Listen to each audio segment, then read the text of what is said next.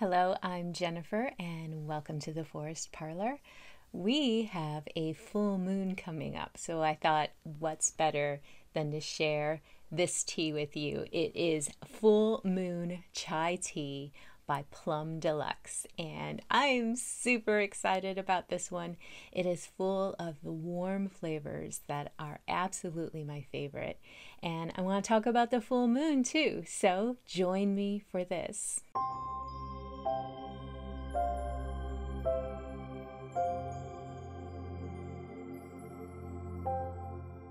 Again, this is called Full Moon Chai Tea. It's a black tea.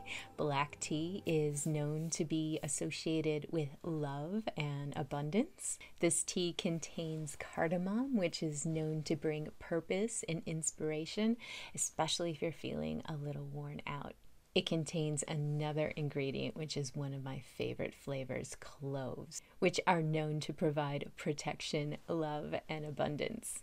This tea also contains cinnamon and ginger, which are not only good for money drawing spells, but these two ingredients are also known to metaphysically make things happen faster, kind of adding a special spark and fire to your intentions.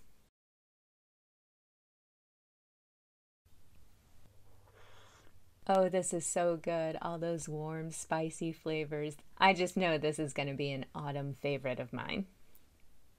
Now, the full moon is a time for cleansing and charging and celebrating what we've accomplished and what we have, as well as letting go of things that don't serve us and making room for better things that we want in our life. And here's another idea you can try. Everyone has heard of charging moon water in the full moon light.